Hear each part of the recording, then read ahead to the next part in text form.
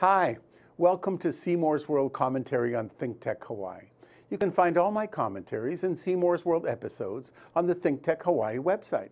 I welcome your comments by email, text, or phone. You could reach me at seymour.kazimirski at gmail.com or 808 551 3222.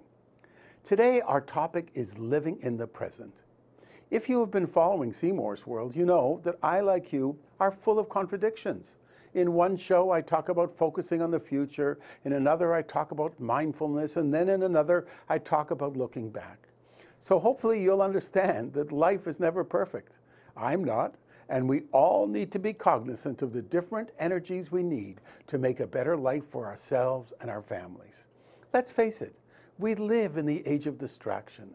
Yet one of life's sharpest paradoxes is that your brightest future hinges on your ability to pay attention to the present. Here's a story for you. A friend was walking in the desert when he found the telephone to God. The setting was a rock concert where 50,000 people descend for eight days of radical self expression, dancing and socializing, meditating, debauchery, and whatever else you can think of. A phone booth in the middle of the desert with a sign that said, Talk to God, was a surreal sight. The idea was that you picked up the phone and God, or someone claiming to be God, would be at the other end to ease your pain. So when God came on the line, Asking how he could help, my friend was ready. How can I live more in the moment, he asked.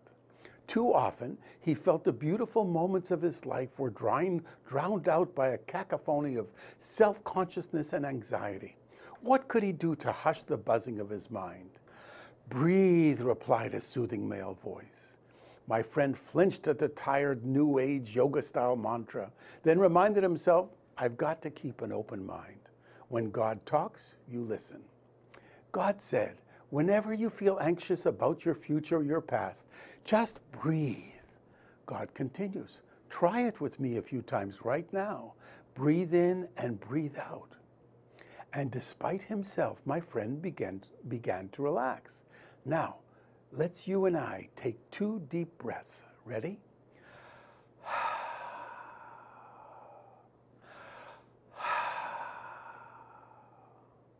Feel better? Remember, you are not your thoughts. Life unfolds in the present. But so often we let the present slip away, allowing time to rush past unobserved and unseized, and squandering the precious seconds of our lives as we worry about the future and ruminate about what's past. We all know that we're living in a world that contributes in a major way to mental fragmentation, disintegration, and distraction. We're always doing something and we allow little time to practice stillness and calm. I am probably more guilty than you, as I allow my mind to always go at warp speed. When we're at work, we fantasize about being on vacation. On vacation, we worry about the work piling up on our desks. We dwell on intrusive memories of the past or fret about what may or may not happen in the future. We don't appreciate the living present because our monkey minds, as Buddhists call them, vault from thought to thought like monkeys swinging from one tree to another. Most of us don't undertake our thoughts in awareness. Rather, our thoughts control us. Ordinary thoughts cross, course through our mind like a deafening waterfall.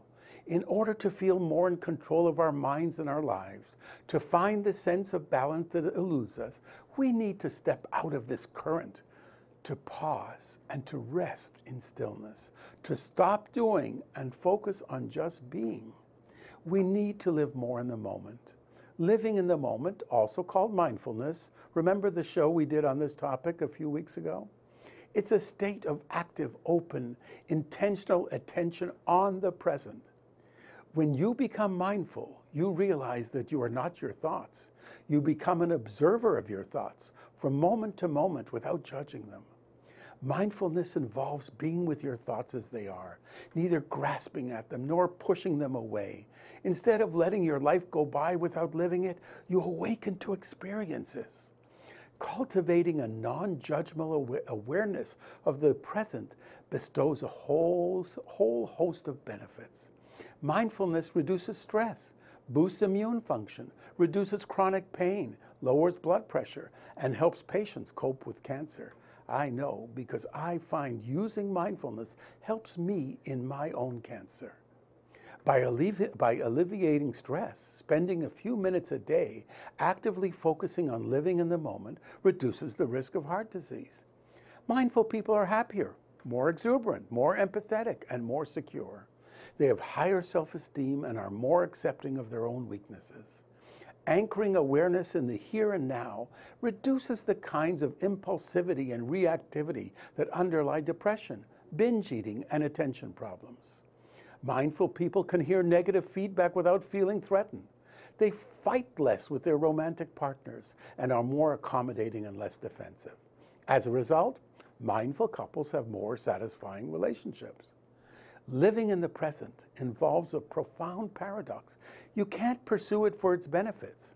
That's because the expectation of reward launches a future oriented mindset, which subverts the entire process. Instead, you just have to trust that the rewards will come. So, my friends, let's breathe more. And let's remember that living in the present will make you smile more, giving us all a better and a fruitful life. I hope this helps you have a great day. My name is Seymour Kazimirski. You're watching a commentary of Seymour's World. Aloha.